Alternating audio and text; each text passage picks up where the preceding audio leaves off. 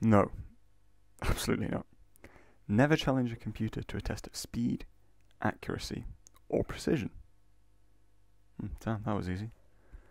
Um, well now, for this test I'm going to be going against Python. Now, I've chosen this reaction time test because what I'm going to be using is a mixture of OpenCV and PyAutoGUI. So this test, you can see the colours change very vividly. So what I can do is I can set it up to wait for the mouse, and then as soon as it sees a bit of green, it'll click.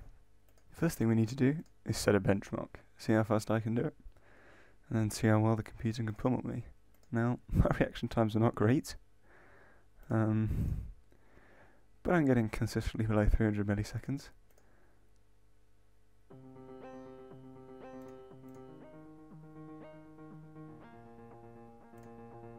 Two hundred and seventy-one milliseconds, and if we go down here, well, now we start the coding montage.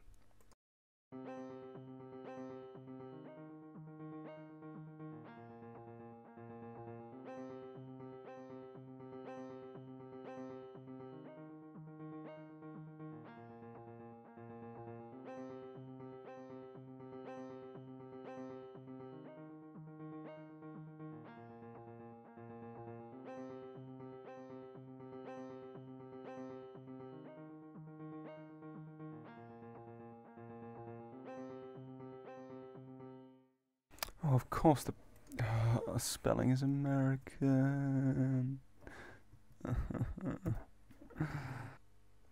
and then, after, albeit not a lot of work and only 10 lines of code, we get this beauty.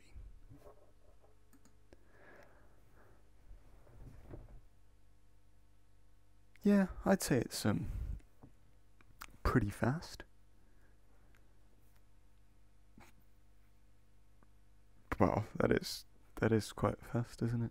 That's I'm not even close.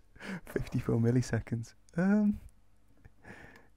Oh dear, that's that's impossibly fast. That um that um this high quality zoom in, am I right? Oh dear. Yeah, I think um I think the computer definitely um beats this one.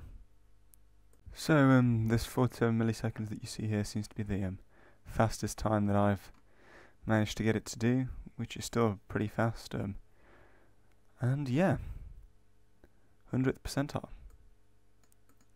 Um, I think I think the answer is no to this one. Definitely, definitely. I mean, we knew that from the start, but um, I made a video about it anyway.